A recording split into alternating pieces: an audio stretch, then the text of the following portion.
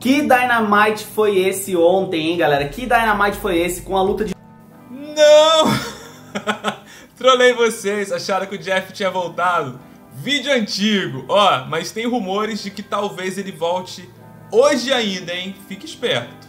Fala galera da Powerbomb Brasil, eu sou Leandra Tala e mais uma vez eu vim repassar com vocês as principais notícias do dia. Ontem não teve, dei uma descansada, mas hoje ó, tem bastante coisa acredito que tem bastante coisa pra gente revisar. Vamos dar uma olhada aí nos principais sites. E qual aí? Vamos olhar o primeiro. Vamos hoje no diferente. O Westall... Westall Talk tem... Eu acho que tem Westall Talk. É, Westall Talk... Isso, Westall Talk News. Vamos lá. Começando, é claro, é claro, é claro, é claro, com a estreia dele. Aleister Black, agora conhecido como Malakai Black estreou no AEW Dynamite. E eu acho que essa foi a melhor estreia que a AEW fez até agora. Eles falharam aí na forma de apresentar os lutadores, mas o Aleister Black estreou muito bem. Eu gostei bastante. Ele atacou o Arn Anderson e depois atacou o Cody Rhodes. Ou seja, já chegou atacando um dos principais nomes da empresa. Pode esperar já que o Aleister Black, ou melhor, Malakai Black agora vai é, ter um grande destaque no mundo da luta livre.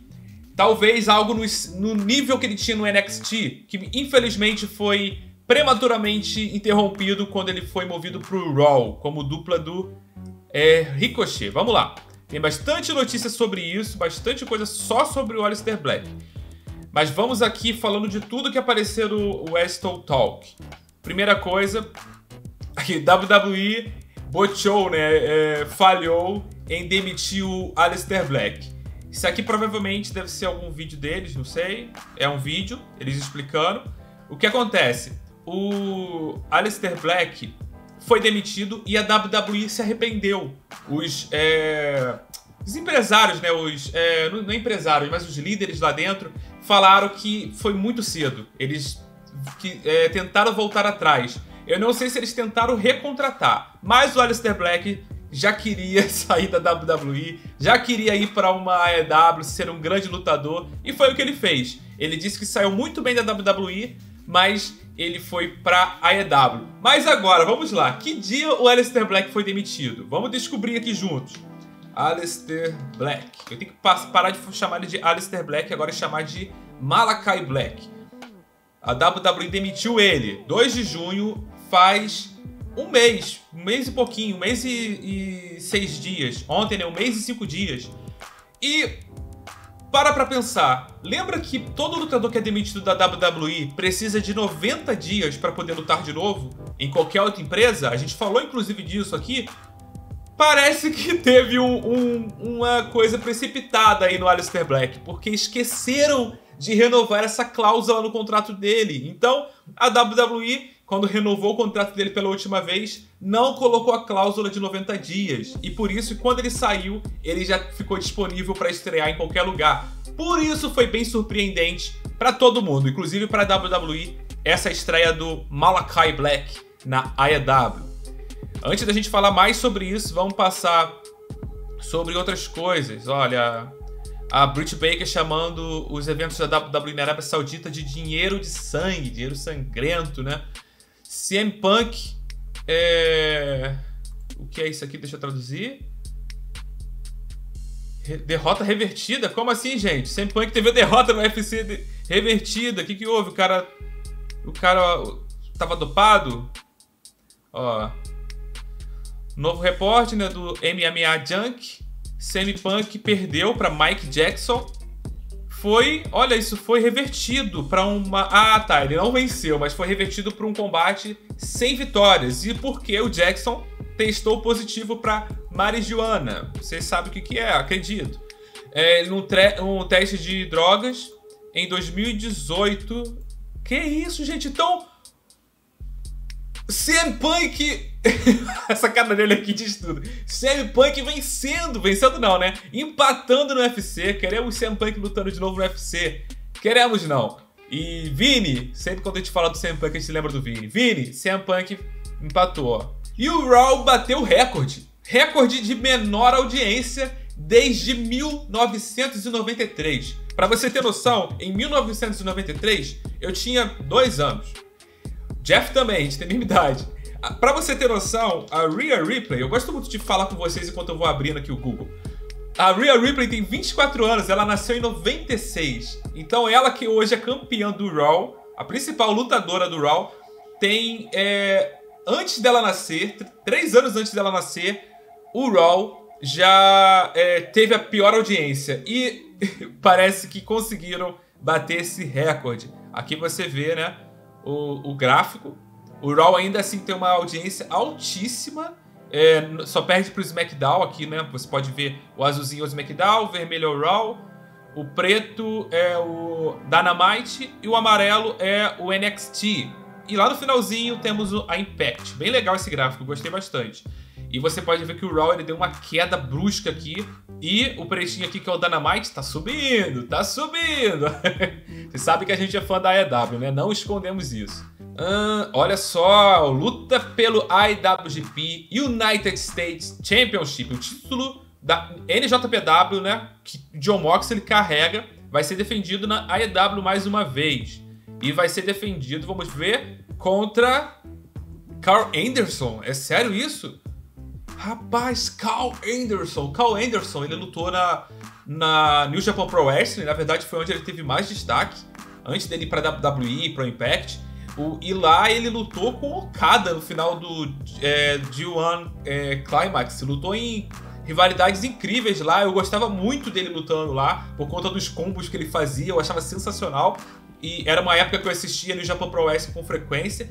E agora ele vai lutar pelo IWGP United States Championship. Faz todo sentido ele lutar, pelo contexto dele na época que ele estava na New Japan. E também é, é uma forma de movimentar esse cinturão, que às vezes fica esquecido. O John Moxley é campeão, mas ele não entra com cinturão. E muito questão é, é de questão empresarial, né, entre AEW e New Japan Pro Wrestling. Próxima coisa, olha, aqui você vê que o, as notícias eram Alistair Black, ele tem uma mudança de nome, né? É, aqui, nesse vídeo dele. Aí o pessoal já começou a ter esse, as rumores. Inclusive, a próxima notícia é grandes rumores de Alistair Black nos bastidores da AEW. Então, antes dele aparecer, já existiam esses rumores que estavam rolando por aí. Uma coisa que eu não sei se você sabe é que o Jimmy Uso foi preso por dirigir bêbado em alta velocidade de novo. Tá aqui, ó, ele fez isso. Já aconteceu isso com ele várias vezes, várias vezes. É, sei lá, deve ser a terceira ou quarta vez que isso acontece.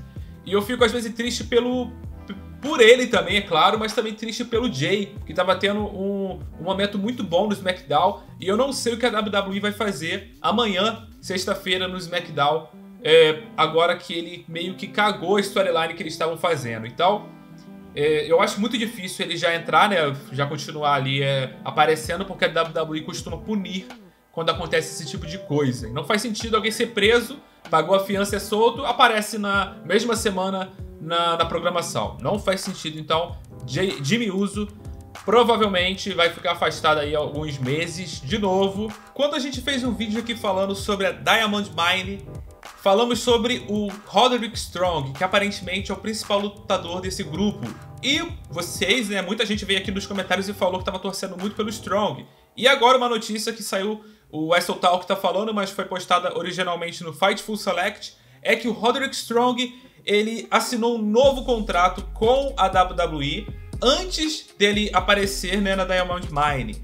E isso foi uma extensão de contrato, ou seja, ele vai ficar aí um, mais um bom tempo garantido na WWE. E ele vai ali, é, provavelmente, ser o principal lutador da, da divisão dos, do Cruiserweight ao lado do Kushida, né? Eles vão ter uma rivalidade aí, pelo que parece.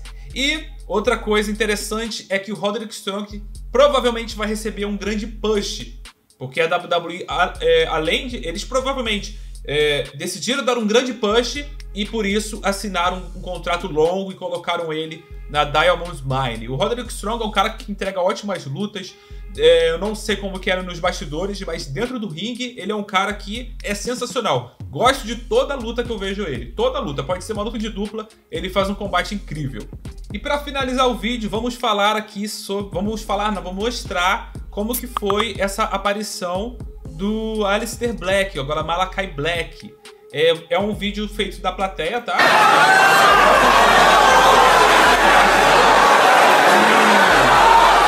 Colocando da plateia pra não tomar é, direito autoral, tá? Tem até medo. Talvez eu coloque isso aqui em branco. Olha isso! Ele fez o Black Mass no Arn Anderson, que é o, gerente, né? Que é o treinador ali do Cold. E o Cold veio tirar satisfação. Olha aí, o Cold tirando satisfação. Olha o Black, o Black foi encarando, ó, encarando. Eu acho que o Cold ficou falando pra ele? Por que você fez isso? Mas depois o Cold fala, sai daqui. Manda ele sair, né? sai daqui.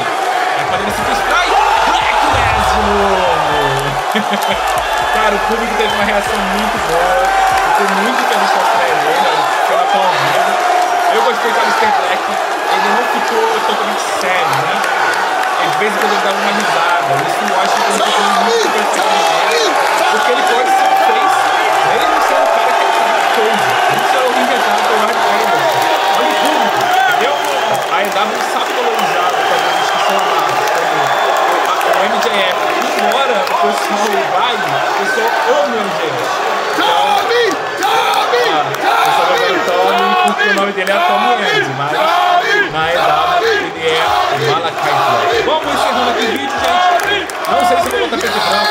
E branco, vai ficar até com combinar com a Mr. Black.